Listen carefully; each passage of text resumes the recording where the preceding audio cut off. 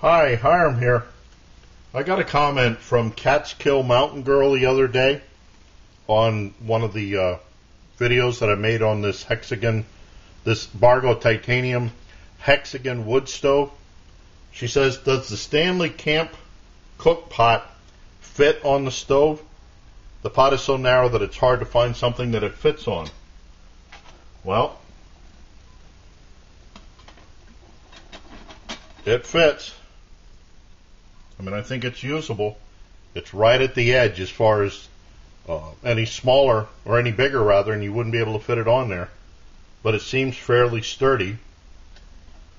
Also, just to throw it in, I have a Vargo titanium cup, one of the small ones, and it fits on the Vargo wood stove. So there you go with that. I thought while I had this set up today, what I do is a boil test on this using the Stanley Camp, uh, the Camp cook pot, along with the mini Trangia on the Evernew titanium cross pieces. Boy, there's a mix up.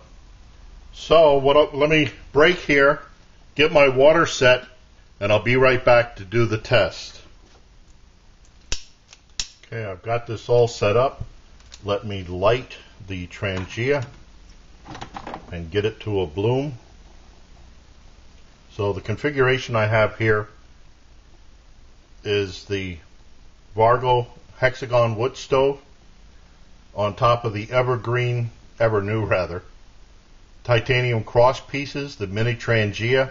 I'm using this to lift it up so it's closer to that one inch sweet spot and I'm going to use the Stanley Camp pot. Okay, it looks like we have a bloom there. Two cups of water.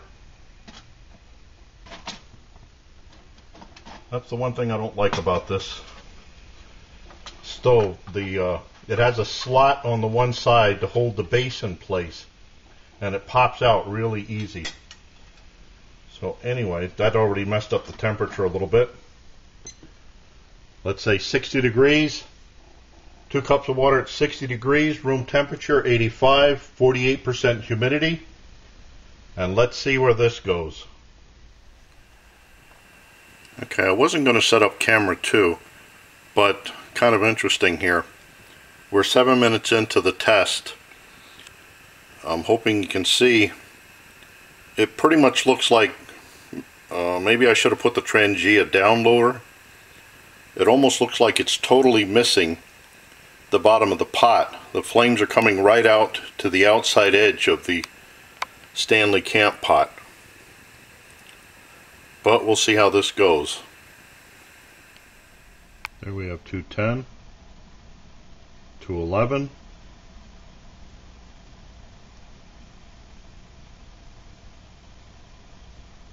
Come on. 212 in 12 minutes 35 seconds. Okay. Let me just put this flame out so I can do a alcohol consumption.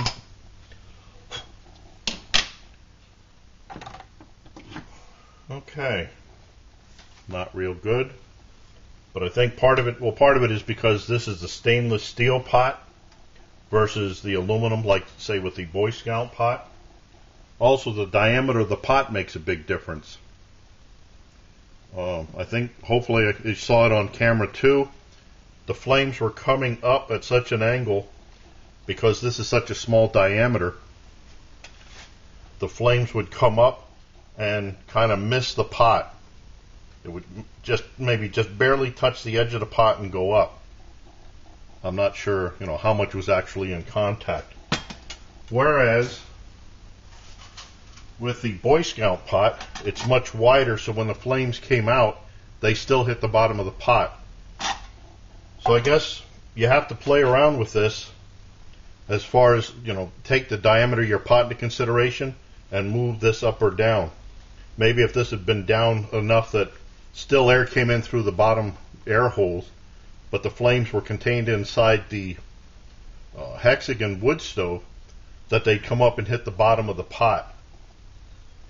This time, instead of hitting the bottom, it was actually hitting right onto the side. Okay. Guess every test shows us something, whether it's a success or not.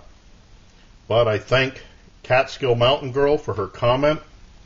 Yes, the Stanley, boy, I have problems with this name. The Stanley Camp Cook pot does indeed fit on the Vargo titanium wood stove. Um, so does the small Vargo titanium cup. This is the cup rather than the mug, the small one. Uh, what's the diameter on this? The diameter on this is like 3.18 inches in diameter, and this fits on without falling through. So I thank Catskill Mountain Girl for her comment. I thank you for watching. I look forward to your input, questions, remarks, helpful suggestions. And as always, oh, one other thing. Well, yeah, I was going to say, I'll put down below how much alcohol was consumed. So again, I thank you for watching and watch for my buddy Max. Bye now.